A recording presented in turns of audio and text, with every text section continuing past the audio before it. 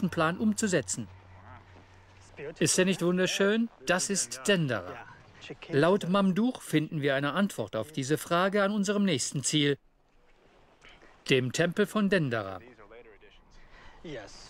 Die Arbeit am Hauptgebäude begann in der Zeit von Kleopatras Vater, Ptolemaios XII. Mamduch möchte mir einen besonderen Platz zeigen. Dort unten? Ja, die Gruft.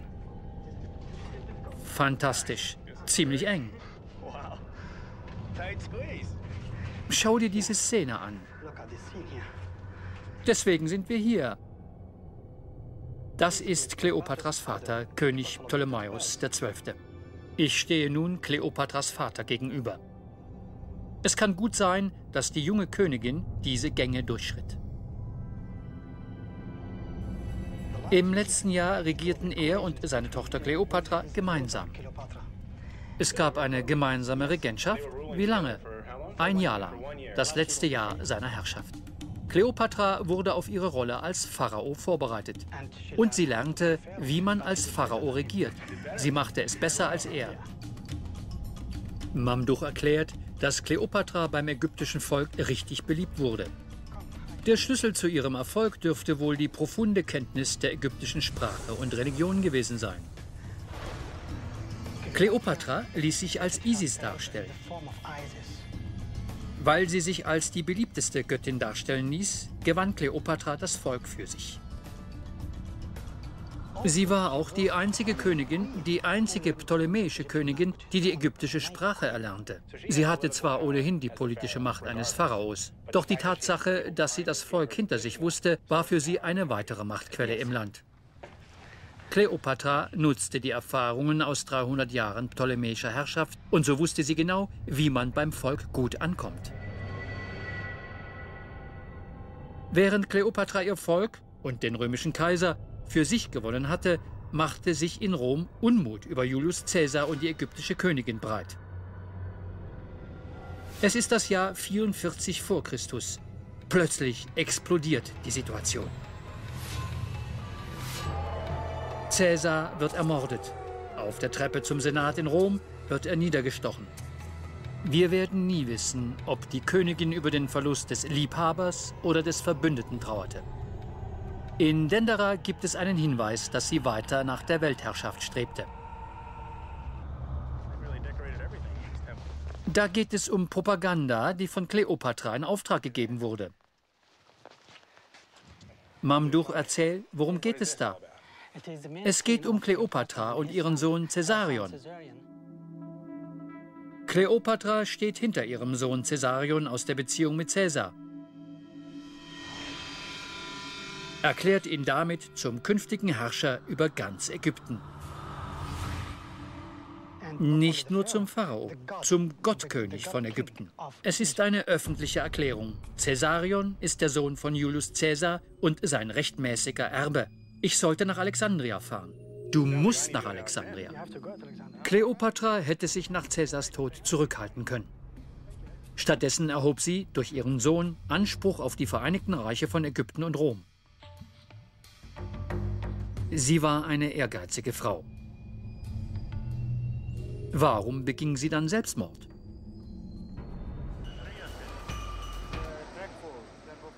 Ich fahre wieder nach Alexandria zurück zum Sitz von Kleopatras Dynastie. Von Kairo aus ist das eine zweistündige Zugfahrt. Ich habe also Zeit, ein bisschen weiter zu forschen. Nach Caesars Ermordung stürzte Rom in eine Krise. Zwei Männer griffen nach der Macht und spalteten das Reich. Octavian, der von Caesar ernannte Thronfolger, erhielt die westlichen Provinzen und Marcus Antonius, Caesars treuer Befehlshaber, erhielt die östlichen Besitztümer. Kleopatra stand nun ohne Verbündeten da. Caesars Testament erwähnte seinen ägyptischen Sohn Caesarion nicht einmal. Ohne Roms Unterstützung war ihr Festhalten an Ägypten und ihre größeren Ambitionen zum Scheitern verurteilt. In der Kleopatra-Legende gibt es eine weitere dramatische Verführung.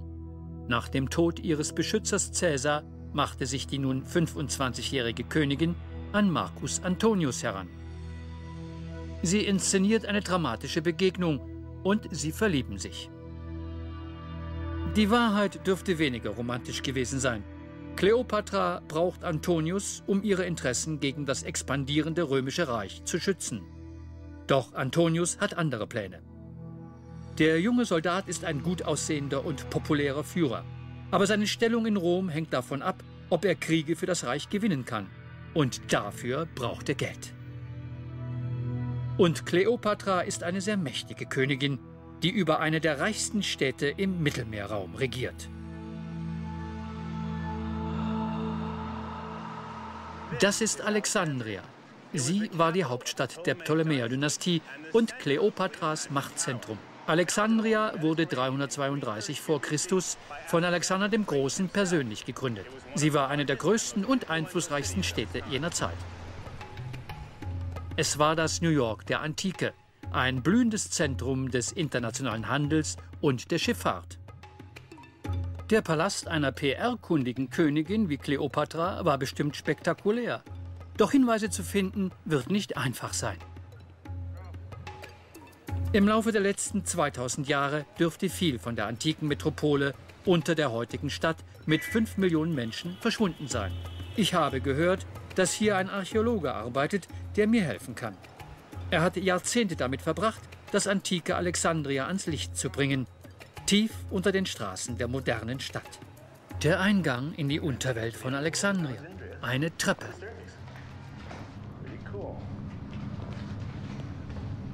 Ich bin auf der Suche nach Dr. Jean-Yves Impereur vom französischen Zentrum für Alexandria-Studien. Das ist sein derzeitiges Projekt.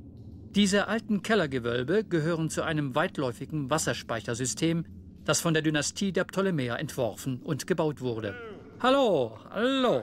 Freut mich, Sie kennenzulernen. Woher kommt denn nun das Wasser? Vom Nil. Wenn der Nil Hochwasser führt, fließt es in diese Zisterne. Jean-Yves erzählt mir von einem ausgedehnten Netz an Zisternen unter der Stadt. Zur Zeit Kleopatras versorgte es die Bevölkerung von Alexandria mit Frischwasser, das für ein Jahr reichte.